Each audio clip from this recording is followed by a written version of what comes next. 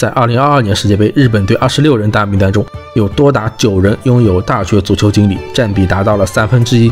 介绍日本高中联赛的视频非常多，但却鲜少有人去了解日本的大学足球。大学在日本足球体系中到底承担着什么样的角色呢？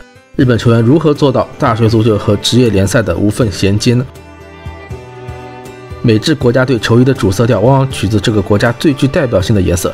在日本体育几乎所有项目中，红色和白色是他们最具代表性的颜色。足球队却特立独行，采用了蓝色作为主色调，球队也因此有了“蓝武士”这个称号。上个世纪初，日本足球最先在大学之间流行开来。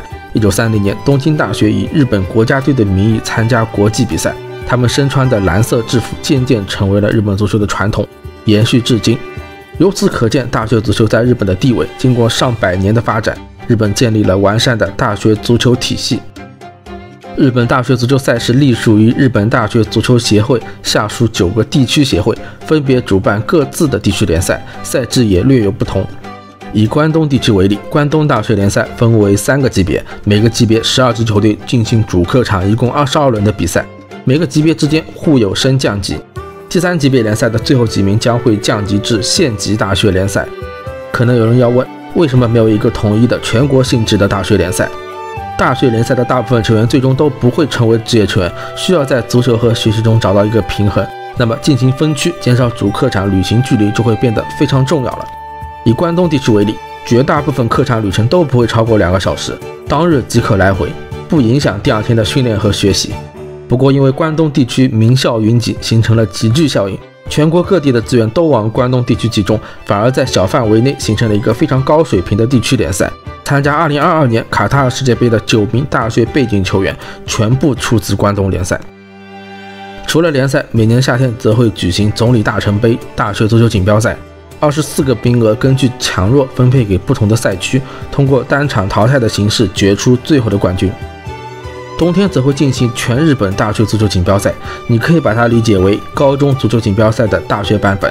决赛同样由二十四所学校参加，名额分配与总理大臣杯略有不同。此外，每个赛区都有为大一和大二新生设立的新人锦标赛，并且设立的全国性质的全日本大学足球新人赛。如果学校之间的比赛已经满足不了他们了，在每年的春天则会进行电装杯足球赛。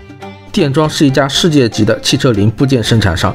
从一九九二年开始赞助电装杯足球赛，可以简单的把它理解为全明星赛。电装杯分为两个部分，第一部分各个赛区的球队通过不同的组合方式选出八支球队进行小组赛和淘汰赛。第二部分组建一支全日本大学选拔队，和韩国大学选拔队举行一场对抗赛。截止二零二三年，日本取得十三胜，略微领先韩国的十一胜。此外，两年一届的大运会也提供了一个展示的舞台。在成为职业球员前，三山勋曾经参加过2017年和2019年两届大运会，拿到了两块金牌。如果大学生之间的比赛已经满足不了一些天赋异禀的球员，那么大学球队还能够参加天皇杯的预选赛。每年都有一大批大学球队闯过县内预选赛，打进天皇杯正赛，甚至击败职业球队。大学生球队在天皇杯上的惊艳表现，不得不提2017年的筑波大学。在闯入正赛后，他们连续淘汰三支职业球队，闯入十六强。第二轮更是客场，凭借三山勋的梅开二度，击败了这一球队，仙台七夕。二零二一年八月十三日，这联赛第二十四轮，一名叫做山健大登的年轻球员替补登场，这是他的这联赛首秀。六分钟后，他上演了罗本式内切射门，打入绝杀球。而他还有另外一个身份，关西学院大学的大四学生。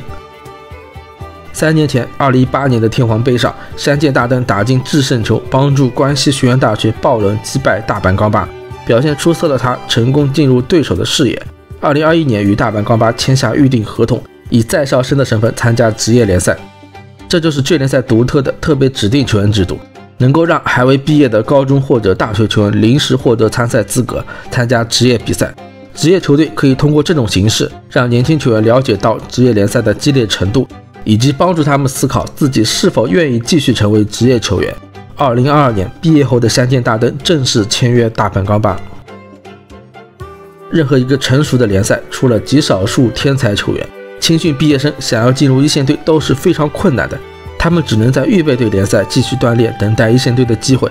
由于没有成绩压力，预备队比赛的强度和锻炼价值是非常有限的。另一个选择是外租。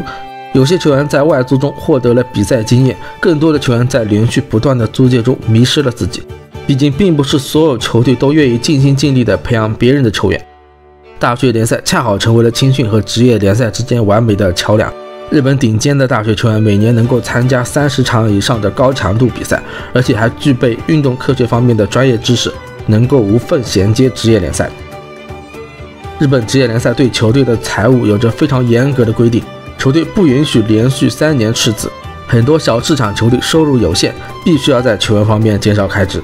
年轻、比赛经验丰富，而且还便宜的大学球员成为了非常好的选择。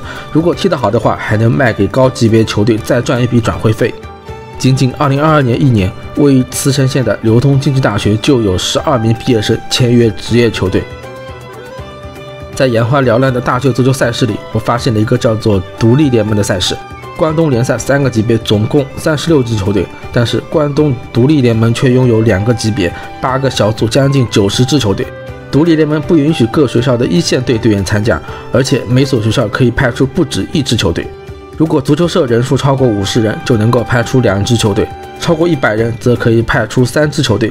简单的说，就是给那些仅以足球为爱好的普通学生有一个参与足球的机会，让每个有天赋的人有合适的上升通道，同时也让每个热爱足球的人能够找到自己的位置。这或许就是日本足球最让人羡慕的地方。